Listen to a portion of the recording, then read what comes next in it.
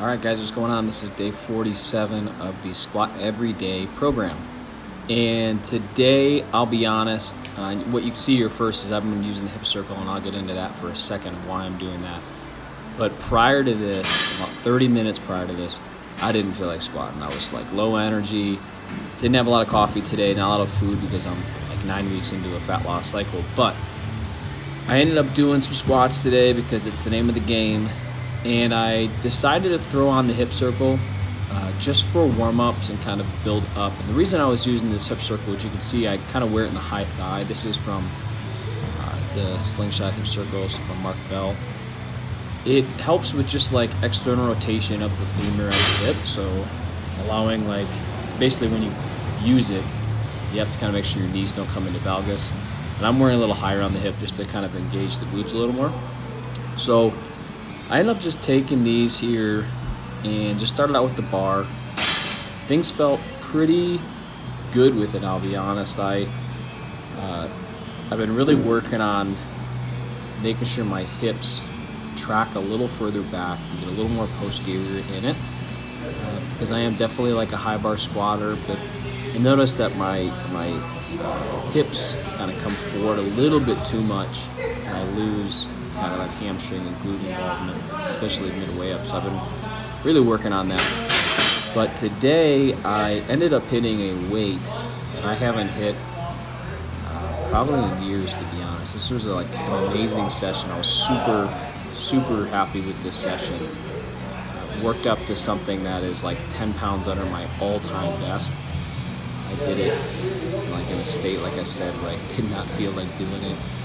And that's probably the biggest takeaway I've taken from this program almost now two months in, is there's days where I just don't feel like doing it. I just kind of get moving and things move. And, and even at my top sets, I just feel sometimes not into it, but the weights move. So I was able to uh, get things going with this, with the band. Legs felt pretty good from the other day, just uh, not crazy soreness actually felt pretty good body wise. Uh, what I was really working on with this was obviously getting those hips back and loading up the hamstrings, glutes, and then driving through the quads.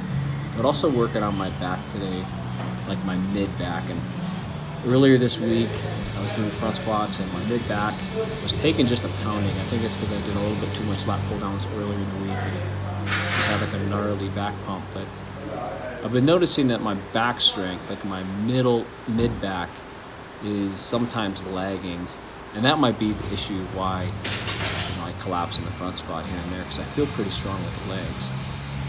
So today I was really focusing on kind of pulling my head back. And you'll see here as I get higher weights, didn't really start clicking until I got higher. But pulling my head back, kind of pushing my traps into the bar, not flaring my elbows up as much, but kind of more putting them in line with my torso.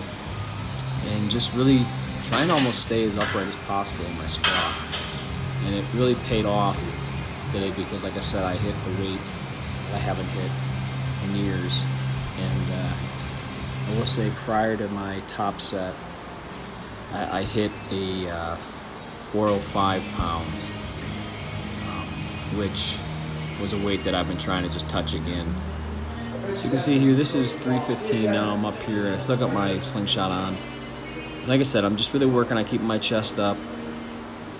Wearing like the shirt with the letters on there, especially in front of the mirrors, helps you kind of give you a visual key. But uh, things are moving pretty good. I wanted, it was super hot in this gym today, so I was trying to squat drilless and actually throw it on back here just because I felt like it was slipping off my back. But now you can see I have the slingshot off. Kind of got up some heavier loads. This weight moving really smooth there. Really happy with that. So I made a nice jump here. Pretty big jump there, about 40 pounds. Got stuck a little bit there and I'll be honest. I, at this point, I was like, I don't know it's in today, but I told myself I wanted to come in here at least hit 180 kilos that's kind of been my number that I've been in the past couple weeks on my heavy single day. And uh, I smoked this and, and check this lift out. I was super happy with this lift. Smoked this so much that I was like, we're going up.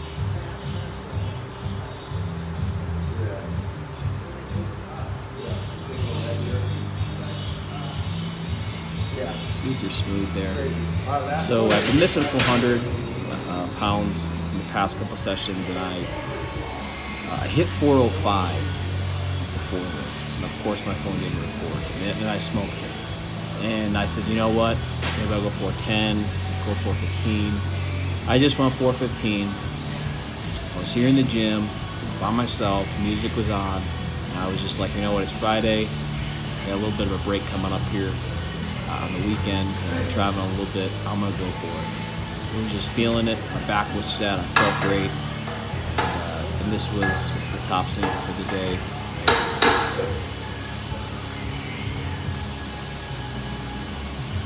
Got stuck there. That's something that I've been addressing here. And in my next video, I'll go over kind of how I'm addressing sticking point certain box squats. But super happy with that lift today, guys. 188 kilo with my back squats.